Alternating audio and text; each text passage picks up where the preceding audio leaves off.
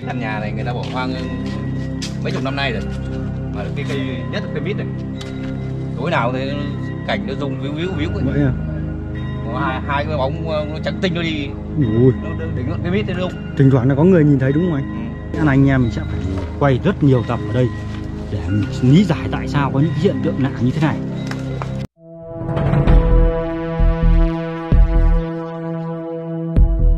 Hello xin chào tất cả mọi người nhé thì hôm nay anh em được cái tin của người dân ấy thì người ta gọi anh em đi khám phá cái căn nhà hoang này nhé thì trong đấy nó cũng có rất nhiều những cái điều nó kỳ bí xung quanh cái tâm linh của người. Thì đến giờ này vẫn chưa ai giải lý giải được là, là tại sao nó có những hiện tượng lạ đấy. Đây thì uh, hôm nay anh dẫn nhà mình đi thì giờ anh chỉ nói qua cho mọi người xem sau này nó có những cái bí ẩn nha. Cái căn nhà này người ta bỏ hoang mấy chục năm nay rồi. Mà cái cây nhất là cây mít này. Tối nào thì cảnh nó rung víu víu víu ấy. vậy à có hai, hai cái bóng ờ, nó trắng tinh nó đi. Ui. Nó, nó đỉnh cái mít nó rung thỉnh thoảng là có người nhìn thấy đúng không anh? Ừ. cứ tầm 11 12 Ui, đi như em nhìn thấy ở cái cây mít kia dưới gốc đấy là có một cái giếng đúng không ạ? Đúng rồi cái cái giếng này là giếng hay là người ta hay người ta đào vào cái long mạch nào Anh đó một là khi là cái long mạch hai nữa là có người chết trẻ đấy sao? Người ta tự tử giếng ừ. thì bây giờ mình sẽ cùng với mấy anh em vào trong đấy khám phá xem bên trong có những gì người nhé Đi. quay cho người xem. Anh có dám vào cùng bọn em không đi đi. đúng anh cứ vào đi cả đi. Đấy dám vào đi cả đi. Dặn đêm về mơ anh nhá. Tức là đêm hôm ở đây là nó có những hiện tượng lạ anh 11 12 giờ đi qua đây thì cây mít có bóng trắng tinh. 11 12 giờ đi qua cây mít nó có những cái bóng trắng tinh mọi người nhá. Đấy rất là ghê rợn luôn. Đấy thì bây giờ anh em sẽ tiến hành vào trong ngôi nhà để khám phá cho mọi người xem nhá. Không có đường vào? Luôn mình có đường vào cơ bản giờ không ai dám có đường nào vào đây? Đây là mọi người này. Treo được không không ai dám ở đây nữa bắt buộc người ta múc đi để cho trẻ con nó khỏi vào. Ừ. Tôi để anh ở ngoài với cháu đi. Ui, anh ở ngoài đi. với cháu đi. Bọn em vào em khám phá rồi. Đấy nó bảo có người bị điên đấy. Những tiếng bảo có người nào vào đây cũng đấy bị điên đấy. À đi, đi, đi máy quay chứ không đấy mọi người thấy không? Trước nhà một con mương nữa hoàn toàn không có đường vào nữa mọi người cố tình đào lên để không cho. Chắc người ta cố tình đào lên để cho trẻ con nó khỏi vào đó mọi người ui, ui căn nhà này sợ chưa này đây, mọi người thấy không? Trước mặt mọi người là cái căn nhà hoang, rất bí ẩn luôn nhé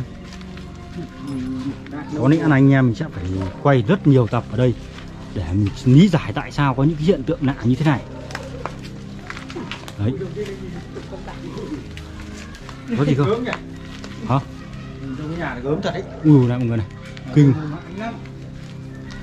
Ui, hình như là có cái tiếng động gì lạ lạ hay sao ấy. Đúng không bước đây cảm giác người mình nó lại toát ra không có gì đâu. Mở này ra xem có gì đâu. Ở đây có gì vậy? mà mình nghi là khả năng là này. Tí nữa điều tra cái giếng xem anh em mình nghĩ là cái giếng có vấn đề gì nhà hoang này bỏ hoang mấy chục năm. Được người dân cho biết mà đêm hôm những cây mít kia là có những tiếng động lạ bây giờ mình sẽ bắt đầu tiến vào bên trong căn nhà này mọi người nhé đó vỡ hết là mặt đường vỡ hết. Đấy mọi người thấy không? Ui mùi khét lắm. Anh em đi là quay những cái là nó thực tế luôn mọi người đi khám phá những cái, cái tâm linh thì không không thể nói linh tinh được. Này hay là mình đi mua nhà thì lấy mấy cái đồ gỗ của ngày xưa của các cụ đây này. Đâu? Cái xà cám này này cái xà gỗ này này. Rồi nhầy mình nghĩ là lấy cái xà gỗ của các cụ về nên là Người ta đòi đấy. đòi đấy người ta về người ta đòi đấy. Không biết nữa. nói chung là tơ về những cái tâm chuyện tâm linh thì khó để mà lý giải được có khi là bây giờ anh em đang ở đây nhưng có những cái oan hồn người ta đang hiện bên cạnh mình. khi người ta cũng đang ngồi đây. Nhưng mình không thể biết được. Chưa biết được trước. Được ui sang bên kia còn một cái gian gì nữa. Bước vào bước vào bên trong căn nhà này mình có cảm giác nó run tức là mình không sợ hãi đâu nhưng mà cái cảm giác nó lạnh sống lưng này mọi người bởi vì nó không có hơi người ấy. Nó không có hơi người ở đây. Thì dưới này. Ấy này. Ơ, bới bới mới ra. Nhà ba giang thì sao ấy không mình sợ à? Lắm. Ui này ở đây cũng được cái cái gian bên này được đổ bằng bê tông cốt thép luôn nhé mọi người nhé chắc người ta tu sửa nên không ở được đúng không? Chắc là không ở được đấy thế mọi người thấy không? Dân này đây demo với người ta bảo nghe ấy biến động trên cây rung cây mít rung nhá. Cái thứ hai là là, là bóng trắng chiếc là thỉnh thoảng người dân ấy người ta nhìn thấy về đêm tầm 11 12 giờ là hay nhìn thấy cái, cái, cái người con gái mà kiểu bóng trắng chiếc dọa nạt người ta nhảy múa trong đấy. Quá kinh khủng luôn. Người ta đã phải đào cái mương để mọi người biết đấy. Để đào mương không cho đường vào đấy như toàn bộ đây là cái khu nhà Này. sẽ quay tổng thể cho mọi người kêu xem. Kêu mới bảo là là là có hai bà đây bà hai bà nào vào đây là điên điên điên đấy. vừa nghe. Tức là kể là là, là người ta vào đây bị điên Hả? trước nhà có cây mà mà chết đứng thì nguy hiểm lắm. U đây này. À mình đã lý giải được cái điều này nhá. Cây ngay không sợ chết đứng nhưng cái cây này bị chết đứng này mọi người này. Đấy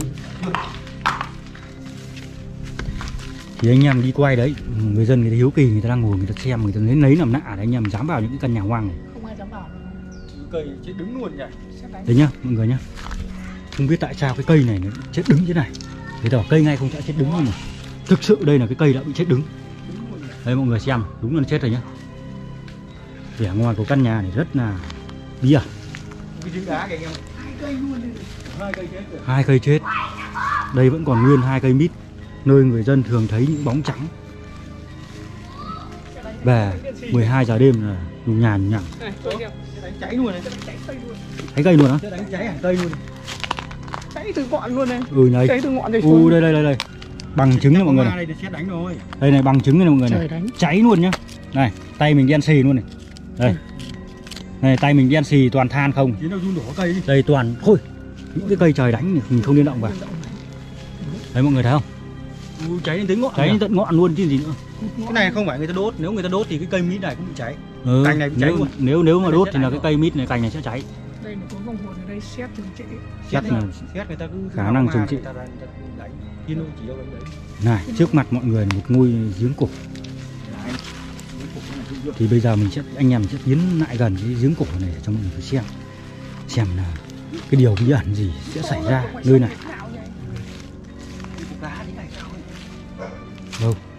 cái giếng này xây bằng gạch ngày xưa gạch cổ này. Thạch thất ấy. cái giếng này mấy trăm năm đấy ui ui ui cái giếng rất là lông luôn mọi người ạ. không biết là bên dưới có sâu không nhưng mà mực nước thì mình có thể với tay tới được mọi người nhé ừ. thế nào để nước đây với thử có này sâu. Đây này toàn bộ là giếng cái giếng này rất là cổ luôn. Hai trăm có sâu. Ui sâu ui chưa thấy sủi tăm. Chứ rủi tăm gì. Ui nước ở đây cao hơn mương trên nhiều ừ. Nhưng mình không hiểu tại sao chưa có ai lý giải được những cái điều tâm linh này Bây giờ mới rủ bóng này. Này này. Này. Sâu lắm không ạ? Này anh em ơi. Đây người ta nói là cây mít này đúng không? Ừ người ta nói cây mít này. Có những xuất hiện những cái điều kỳ bí mà Những cái cái bóng trắng. ui cái tay nó ngoằng ngoằng chưa? này cái tay nó như kiểu rắn ấy. Nha. Quá là kinh khủng luôn mọi người. Thực sự là mình cũng không thể không thể ấy được. Thì có lẽ là hôm nay này anh em mình đến đây lần đầu thì mình chưa biết nhưng mà sẽ theo theo mình nghĩ là ngày mai mình sẽ anh em mình sẽ đặt một cái cam ở đây để xem tình hình như nào để cho mọi người biết. Anh em năng anh em đặt cái cam ở đây đi. Giếng này sâu lắm không không lắm. Này, vứt vứt ra. xuống. Gạt anh thử lúc xong phút sau mới thấy nổi ui nước nó mặn mặn. Nước mặn đâu mặn thế. Vậy á? Lúc lúc sau thấy thủ đăng này hay là ngày mai anh em mình lấy đồ bảo hộ xuống giếng thử xem biết đâu dưới đấy đấy đấy đấy giờ thủ đăng này. Biết đâu có sắc có khi nó có sắc người đây không sao mặn thế nhỉ? Hay là Tại mai anh sao? em cầm dây anh em nặn dưới này đi. Tại sao là có những cái oan hồn nó vất vưởng ở đây vậy? Chứ nó vỡ đào cái giếng đứng mà nó mặc cái chứ. Đúng không?